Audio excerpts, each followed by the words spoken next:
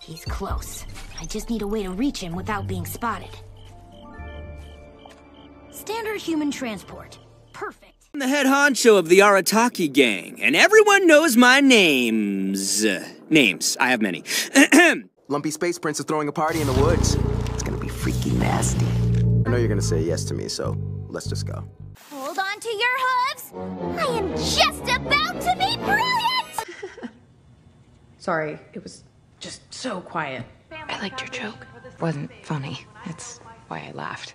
Cut me some slack, please!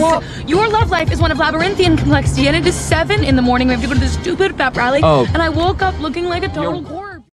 Why not? I fed him, I watered him, and he is dressed appropriately for the weather. Boats can't do that.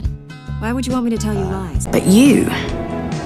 You don't even get to leave. You haven't got anything. I have all the power. You really want it to feel like old times, I could, uh, chase you around a while and try to capture you. Are you one of. No, it cannot be. Are you looking for someone? Don't worry about it. They originally made this out of fear of what I might do. I plan to do this sooner or later.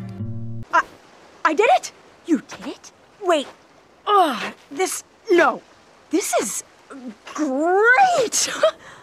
oh my. Strength of your ability is actually your downfall.